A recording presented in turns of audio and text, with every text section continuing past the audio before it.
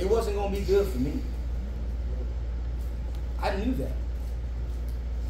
And we talked about this um, even yesterday, but one verse I did not get to share with you is found in Hebrews chapter 9. So I'm going to ask you to go, ask you to go with me to one more place. And I, this is a common verse. I, I realize that. But it's a verse I think we need to at least read and talk about a little bit because it goes with this particular point. And it's found in Hebrews chapter 9 and in verse 27. Hebrews 9 and verse 27.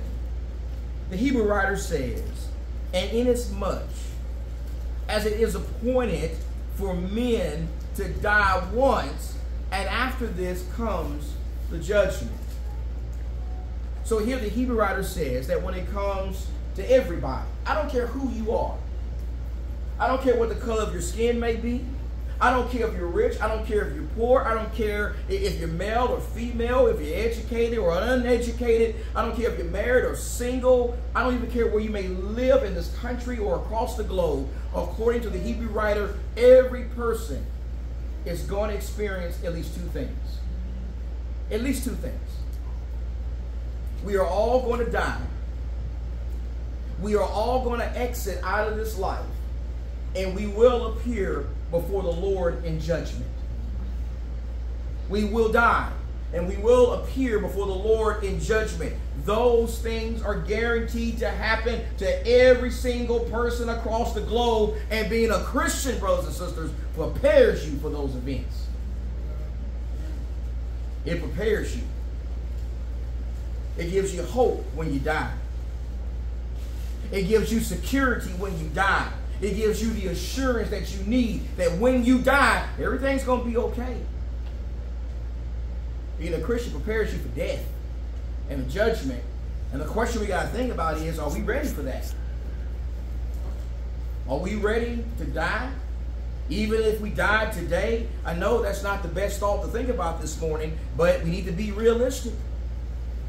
We need to be realistic. We don't need to put our heads in the sand. We need to understand that I don't care how old or young we might be, we could die today. And if you don't believe that, then you're not then you're just not paying attention. Not paying attention to life. Life reminds us of this all the time. And I've been reminded a lot of this just over the last year or so. Just over the last year or so, I, I've had so many friends of mine. Some younger than me who've died suddenly and unexpectedly. And I'll give you one example. I was reminded of this reality back in July, almost exactly a year ago, in July of last year.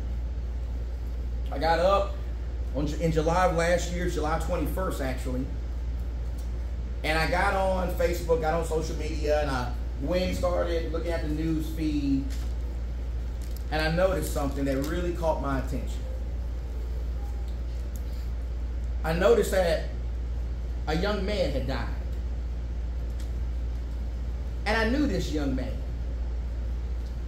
I knew him actually quite well. His name was Sean Cavender. Maybe Brother Ben knows Sean Cavender. I knew Sean Cavender. He was a gospel preacher.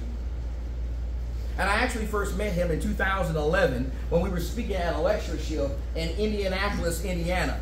He and his future wife, Kristen, were actually just dating at the time. And Janice and I, we actually were able to have dinner with them a couple of times. And we spent a night with them just playing some games and talking to each other. And every now and then, Sean and I, we would just run into each other at different lectureships and things. And we were always nice to each other. And he was always very respectful and kind to me. And he was just a fine gospel preacher fine young gospel preacher. But last year, in July, on the evening of July the 20th, at the conclusion of a lectureship in Athens, Alabama, he had just finished preaching earlier in that day. And he was leaving this lectureship, and his vehicle was struck at the intersection of the Bible school where the lectureship was being held, and he was killed instantly. He was killed instantly. And he was only 36 years old. And he was married, so he left behind a wife, but not just a wonderful wife. He also left behind two small kids. His life was gone just like that. And that was a reminder of something that, that I knew, but I just don't think about as much as I should. That was a reminder to me that we don't know when we're going to die. We don't know. Life is so fragile. We're not guaranteed to live to be 70, 80, or 90 years old. Any of us could exit out of this life today. And being a Christian, my dear friends, it prepares you for that. It prepares you to die. It should take away your fear of death. It should instill within you as a Christian a mindset that's different than the mindset of the world. I mean, you, you know how the world thinks about death, right? The world views death as like the worst possible thing that can happen to you. The world is afraid to die. The world doesn't even like talking about talking about death. But but as Christians, our mindset should be different. As Christians, we should not view death as a cursing, but we should view it as a blessing. We shouldn't be afraid to die because we follow somebody who's conquered death. We follow somebody who has the keys of death and Hades. We follow someone who has provided us with the hope of resurrection because he himself was raised from the dead. You see, Sean Cavender, this man I just told you about who passed away, he was a Christian.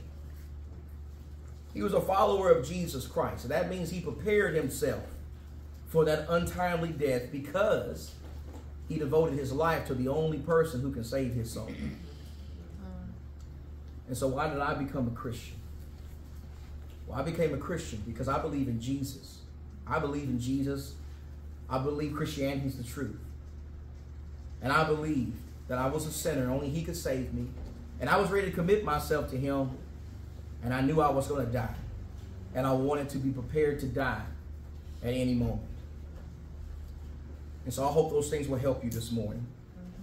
If you are a Christian, I hope this lesson has renewed some zeal and thankfulness about being a Christian.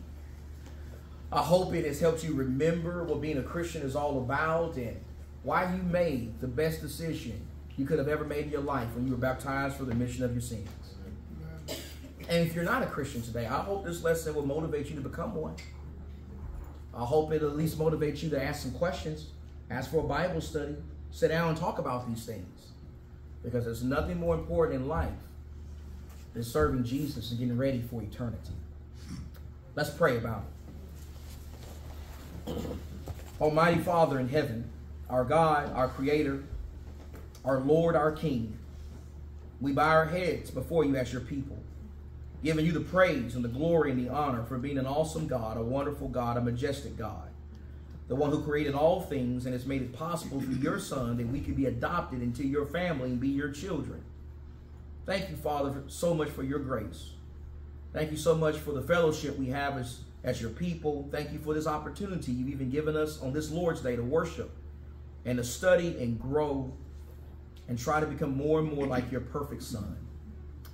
Father, help us always remember why it is so important to be a Christian. Help us always be thankful for that.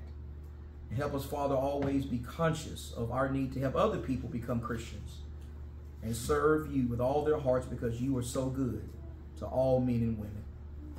Thank you, Father, so much for this opportunity. Thank you for your love.